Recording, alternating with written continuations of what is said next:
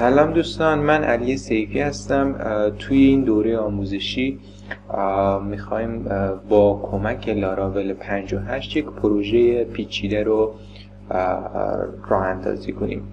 یه مشکلی که خیلی از دوره های آموزشی دارن اینه که اون پروژه ای رو که برای دوره آموزشیشون انتخاب کنن تقریبا یه پروژه ساده محسوب میشه. چون به حال افراد یکی اینکه تازه شروع کردن با یه پروژه ساده شروع کنن و دو اینکه خب پروژه های سنگین تر بسیار زمان می‌برن و این برای مدرس خیلی سخت است که یک مدت زمان زیادی رو به یه پروژه سنگین و طولانی اختصاص بده. اما من تو این دوره آموزشی به حال تصمیم گرفتم از یک پروژه پیچیده استفاده کنم که خمچم کار بیشتر دستتون بیاد. یه نگاهی هم به این پروژه‌ای که با هم طراحی کردیم خواهیم انداخت. یه سری نکته ها توش داره. اولین کاری که می‌کنیم اینه که توی این دوره آموزشی تو مرحله اول لاراول 58 رو نصب می‌کنیم با هم دیگه. خب این کار ساده ای هستش این احتمال بلد باشید. بعد از اینکه لاراول 58 رو نصب کردیم یه سیستم حساب کاربری را میندازیم. خب اینجاش هم ساده هستش تقریبا میشه گفت با خود لاراول اینا رو همه از قبل برای ما انجام داده که یه صفحه ورود به حساب کاربری و اینجور داستان برای ما تهیه می‌کنه. اما ما اون سیستم حساب کاربری که لاراول پیش بینی کرده رو خیلی گسترش میدیم افراد بتونن تو پنل مدیریت خودشون رمز و رو تغییر کنن. بازگردانی رمز و با کمک پیامک داشته باشن. فرض کنیم یکی از کاربرا یه نام کاربری یا چه می‌دونم شماره تماس یا چی میگم رمز عبور خودش رو فراموش می‌کنه و ما باید به کمک این سیستمون بتونیم بازگردانی کنیم حساب کاربریش رو و سایر موارد. بیم فعلا یه نگاهی به این پروژهمون با هم دیگه بندازیم. ببینید این اولش داشبورد ادمین هستش. اصلا تو این پروژه ما می‌خوایم چه کاری انجام بدیم؟ قبل از اینکه بگم مثلا این پروژه در مورد چی هستش اصلا تو این پروژه قرار چه اتفاقی بیفته بهتون بگم ما توی این پروژه دو نوع حساب کاربری داریم. یکی ادمین وبسایت هستش ادمین اون سیستم حالا هرچی که هست و یکی هم مشتری های اون ادمین. این پروژه ما پروژه باشگاه مشتریان هستش. مثلا به چه صورت هستش؟ حالا بیشتر تو جلسه آینده در موردش توضیح میدم. خود تمرکزمو می‌ذارم. قشنگ تا توضیح بدم که دقیقا باشگاه مشتریان چی هستش. ولی فعلا تا به اینجای کار بدونید که مثلا برای یک مغازه یا برای یک استخر یا برای هر هر جایی که داره با مشتریاش سرکله می‌زنه با مشتریاش حساب داره این اپلیکیشن به دردشون می‌خوره. پس بیایم هم یه نگاهی به این پروژه بندازیم هم در حال نگاه کردن به این پروژه بهتون توضیح بدم این باشگاه مشتریان دقیقا چی هستش و چطور می‌تونه که یک مغازه یا یک شرکت رو کمک کنه. اولین جایی که می‌خوایم بهش نگاه بندازیم فرض کنید الان ادمین هست یوزرنیم پسورد خودش رو وارد کرده و وارد حساب کاربری شده. ادمین می‌تونه بره تو قسمت مدیریت مدیریت مشتریان و از تو قسمت مدیریت مشتریان اضافه کردن مشتری جدید رو بزنه و یه مشتری جدید تو سیستم می‌خوام مثلا می‌خواد ثبت کنه. فرض کنید شما یه مغازه دار هستید داخل مغازه نشستید. و یک مشتری جدید رو می‌خوایم به سیستم اضافه کنیم. مثلا یه مشتری اومده یه خرید خوبی کرده میگه خب این مشتری خوبی هستش من می‌خوام این رو توی سیستم باشگاه مشتریان داشته باشم. اسمش رو وارد می‌کنید شماره تماسش رو وارد می‌کنید. می‌تونید یه اعتبار اولیه بهش بدید. اعتبار اولیه چی هستش؟ کلا این سیستم به این صورت هستش که مثلا یک مغازه مثلا 100 تا مشتری داره خب؟ بعد هر کدوم از این مشتریاش خب می‌تونن یه سری اعتبار داشته باشن داخل اون مغازه که فقط تو همون مغازه قابل خرج کردن هستش. و هنگامی هم که مشتری تعریف می‌کنن می‌تونن مثلا یه اعتبار اولیه براش تعریف کنن. مثلا این مشتری تو سیستم تعریف می‌کنه و بهش میگه مثلا آقا شما 7500 تومان کلا تمام واحدهای این اپلیکیشن به تومان هستش. 7500 تومان اعتبار اولیه دارید یعنی شما سری بعدی که بیاید داخل مغازه ما خرید کنید یه 7500 تومن اعتبار اولیه دارید. تاریخ تولد می‌تونیم بگیریم مثلا برای اینکه مثلا اگه بخوایم یه سیستم را بندازیم که تو روز تولدش مثلا یه آفرهای خاصی بهش تعلق بگیره و جور داستانا. حالا با جزئیات نه مثلا می‌تونم انتخاب کنم توی سال مثلا سال تولدش رو مثلا انتخاب کنیم. مثلا و اینجور چیزی مثلا سال تولد تاریخ تولدش رو انتخاب کنیم و جنسیت هم می‌تونیم تعریف کنیم. و اضافه کردن مشتری رو می‌زنیم. وقتی اضافه کردن مشتری می‌زنیم مشتری تو سیستم تعریف میشه و توی لیست مشتریان قرار می‌گیره. ما اینجا بریم تو لیست مشتریان اینجا قرار می‌گیره. یه لیست پیامک های ارسالی هم توی تب جدید باز بکنم از این قسمت. اینجا ما وقتی هر مشتری تعریف می‌کنیم توی سیستم یعنی وقتی میریم تو اضافه کردن مشتری جدید و یه مشتری تو سیستم تعریف می‌کنیم. یه پیامک برای اون مشتری ارسال میشه برای اون شماره تماس که خود ادمین می‌تونه تو لیست پیامک های ارسالی تمام پیامک ها رو هم از اینجا ببینه. که یه همچین متن داره که با سلام به باشگاه مشتریان ما خوش آمدید. اطلاعات لازم برای ورود به حساب کاربری شما به صورت زیر است. نام کاربریش این است و چندان رمز عبورش این است و, کد مشتری فلان اینجور داستان. دقیقا واقعا همچین سی ارسال میشه. ما تو این دوره آموزشی به شما کمک به شما یاد میدیم که چطوری یک پنل ارسال پیامک راه اندازی کنید به کمک لاراول و خیلی ساده هم هستش. به شما حتما آموزش خواهیم داد که چطوری بتونید SMS ارسال کنید و چطوری کاری کنید اتوماتیک این SMS ارسال بشه. مثلا این شخص مشتری جدید تو سیستم تعریف کرد. به محض اینکه مشتری سیستم مشتری جدید تو سیستم تعریف کرد بدون که چیزی بگه خود سیستم اتوماتیک یک پیامک ارسال کرد برای اون شخص و بهش گفت که چیز هستش. پس دقت کنید علاوه یعنی به محض اینکه ادمین یک مشتری جدید تو سیستم تعریف کرد هم یه پیامک ارسال شد و هم یک حساب کاربری براش ساخته شد. که نگاه کنیم مثلا شماره تماس که میگه نام کاربری این هست و شماره تماس. من کنترل شیفت ان بزنم توی تب جدید توی چیز جدید این رو بیارم. مثلا فرض کنید ورود بزنه.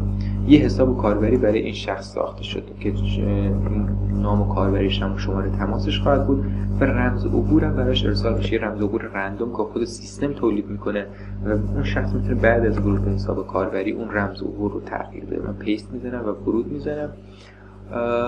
و این شخص الان وارد پنل مدیریتش میشه. اگر دقت کنید اینجا این panel admin option های بیشتری داره. چه می‌دونم مدیریت مشتریان داره مدیریت تراکنش ها داره تنظیمات داره لیست پیامک های ارسالی داره.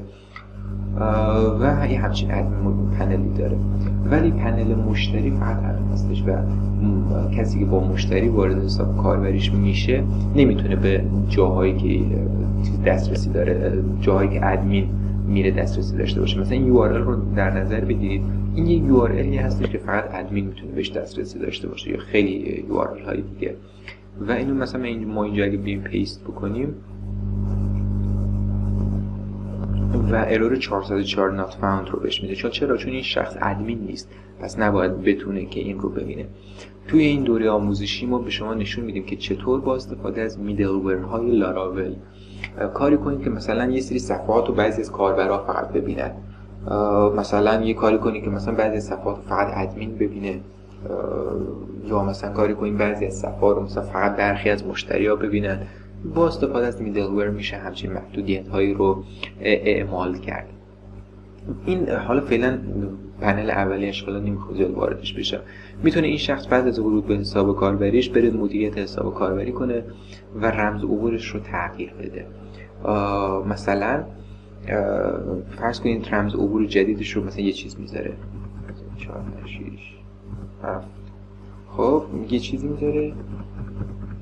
و تایید رو می‌زنه. الان بهش ارور میده میگه رمز عبور باید حداقل 8 کاراکتر باشه. این ولیدیشن ها رو هم اعمال می‌کنه. حالا دیگه دست خودتون چند کاراکتر باشه 5 تا یا چه ولیدیشن هایی می‌ذارید رمز عبور فعلی رو باید طرف وارد کنه. رمز عبور فعلی چی بود؟ ما اینجا داشتیمش براش اس شده بود دیگه. رمز عبور فعلی همین هستش. کپی می‌کنیم. خب و رمز عبور جدیدم براش می‌ذاریم. و تایید. اینجاست که رمز عبور اون شخص الان عوض شد و می‌تونه طرف دوباره وارد حساب کاربریش بشه با همون رمز عبور جدیدی که انتخاب کرده.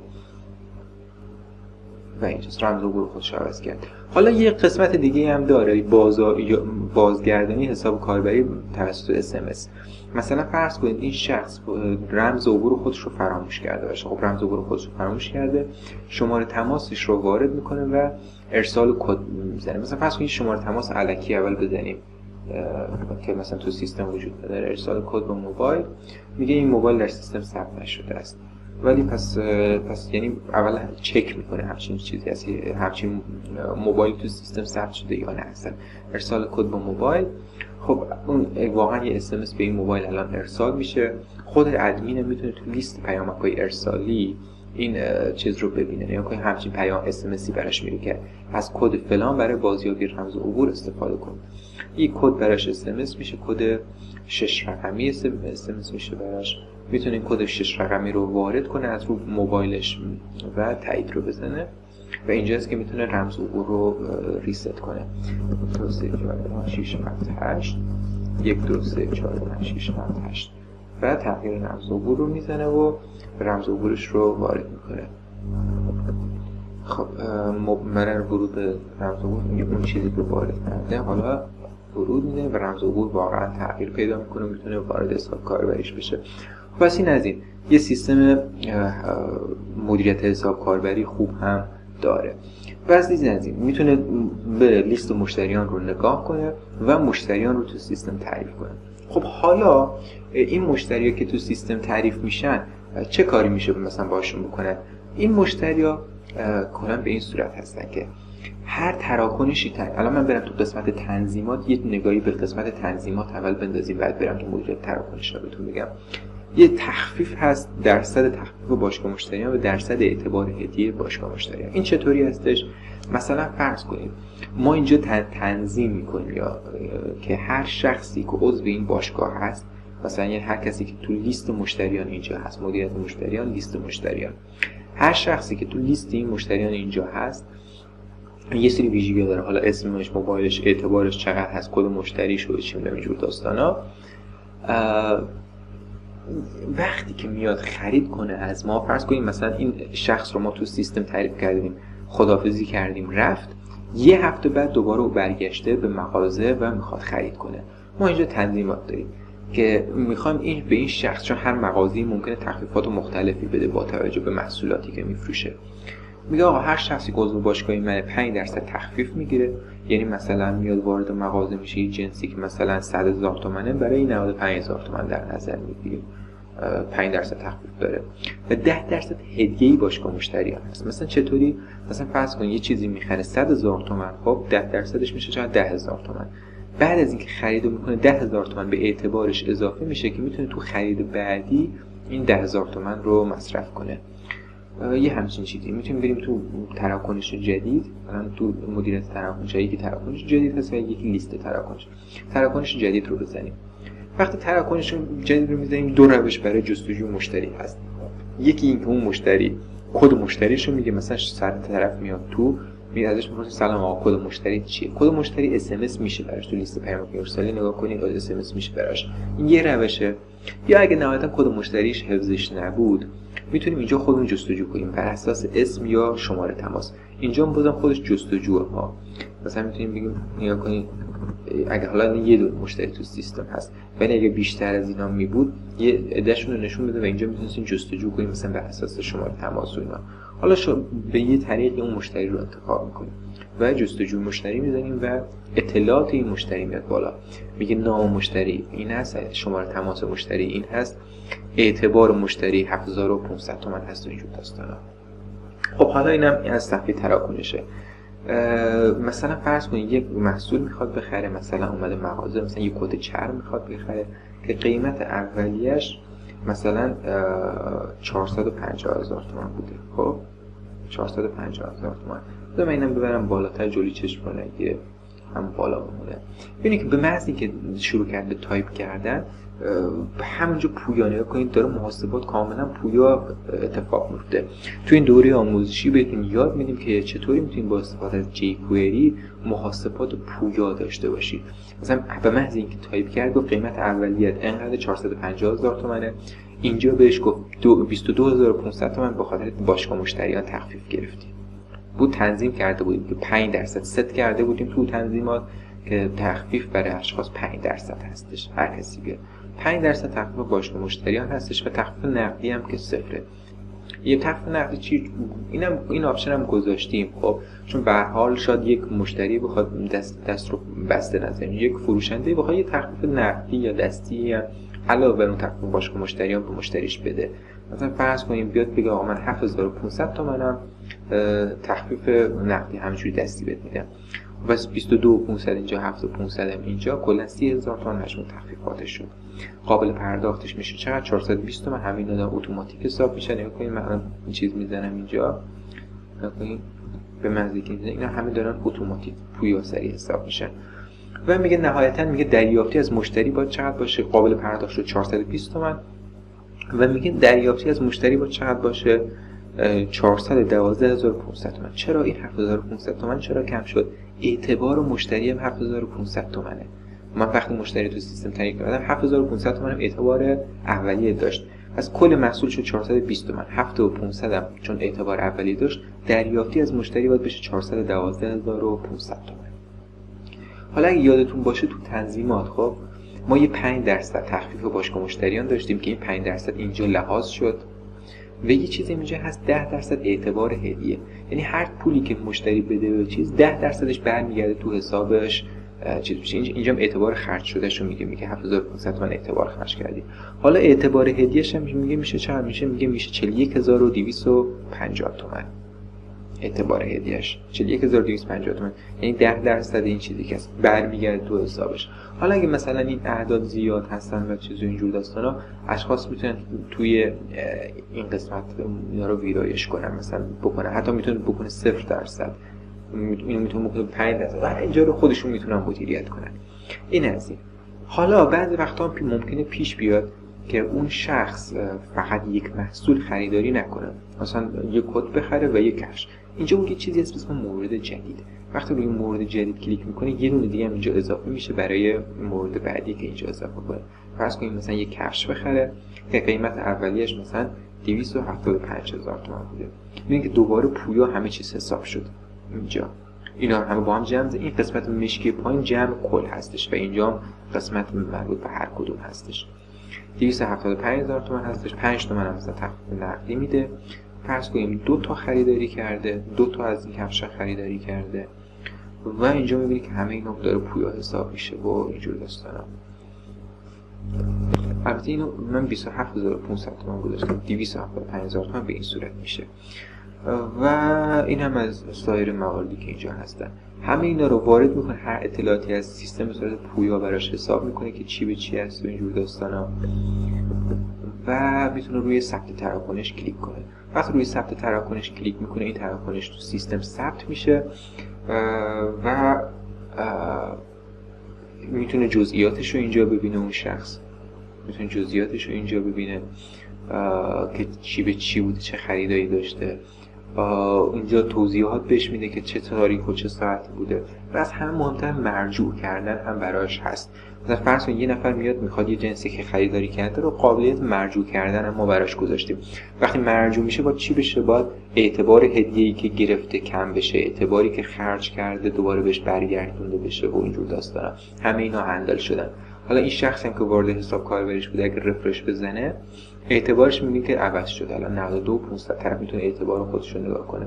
یا تو لیست تراکنش ها فقط می‌تونه تراکنشی که خودش داشته رو ببینه فقط مشاهده کنه.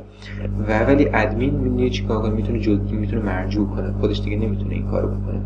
می‌تونه مرجوع کنه وجود داستانا. مشتری مختلفی که هستن وجود داستان مشتری مختلفی که تراکنشی که داشتن.